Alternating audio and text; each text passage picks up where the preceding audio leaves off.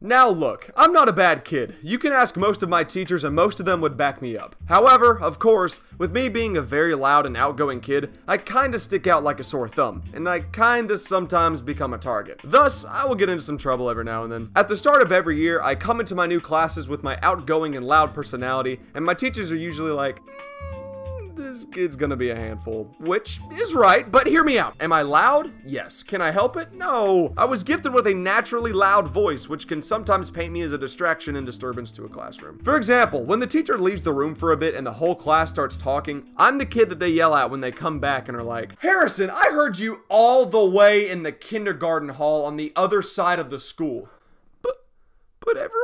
Was talking too. But I heard you. You need to work on your indoor voice, mister. However, I can't just blame my voice on every single time I've gotten in trouble. Sometimes it's not my voice's fault. Sometimes it's not even my fault. So when it was getting close to fall freshman year, I was getting my fall sniffles. I needed to use the tissues a lot. So one week in English class, I had gotten up to use the tissues and thrown them away a couple times. And the last time I did, I was on the way to throw away my tissue when my teacher said, Hey, uh, mm, can you maybe not walk around my entire classroom and interrupt me just to throw away a tissue? I kind of stared back at her, not really knowing what to say. I finally said, um, Yes, ma'am. The next day, I brought my own tissue box in my backpack. Every time I needed to use them, I would use them and put them next to my book bag where no one else could see. After class, I would take the tissue and throw it away on my way out the class. Simple plan, right? One day, she was walking by, saw that I had a tissue on the ground and said, um, would it kill you to get up and bring this to the garbage?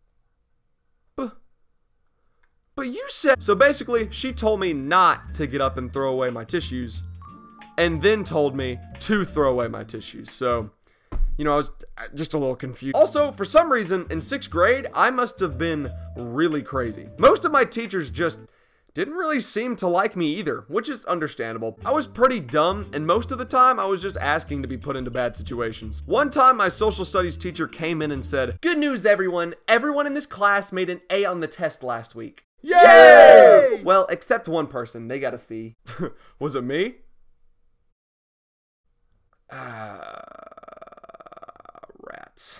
One of the things that fueled my stupidity in 6th grade was our classroom iPads. I absolutely loved them. I would film funny videos on them and just have a blast with them. One time at the end of the day, I was fooling around with the camera when the teacher started to talk. I forgot to stop the video so it just kept rolling as I paid attention to her. When she was done talking, I stopped recording but forgot to delete it. There was nothing bad on the video though, so I should be fine.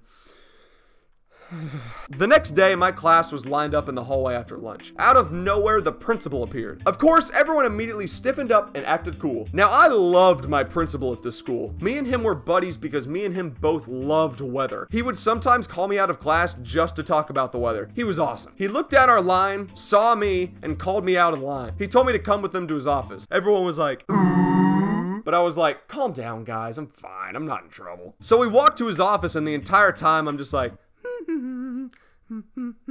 we sit down, he looks at me and he says, You're in trouble, son. What? What? Can you explain this? He turns around the iPad and it's the video of me, just listening to the teacher. Oh, um, well, yesterday I was just fooling around with the camera and forgot to turn it off. Well, this was extremely disrespectful. We've called your parents. They're not happy. What? The entire rest of the day, I was so confused. What in the world, man? What in the world did I do? I got home that night and my parents were steamed. I had to calm them down and assure them that I literally did nothing in the video. Eventually, they believed me and everything was fine. For months after that, it was really tense between me and that teacher. In fact, the tension went to the last day of school.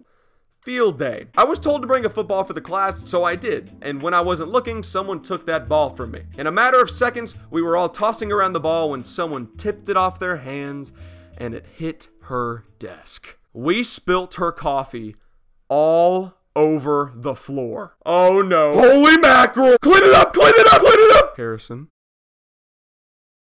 Um, what did you do? I'm sorry. I'm so sorry. So yeah, I've been in some tough situations for being an idiot. Nowadays, I'm smart and don't make stupid decisions, so there's that. Again, I'm not a bad kid, and after this video, I don't want you to think that. Like every human, I make mistakes every now and then, and that's okay. Nowadays, the teachers at my school know I'm just an outgoing, relatively happy kid, so they cut me some slack. Of course, I'll be rowdy every once in a while, but not in a bad way. My teachers know I mean well, and one teacher in particular always just says, To the moon, Harrison. To the moon.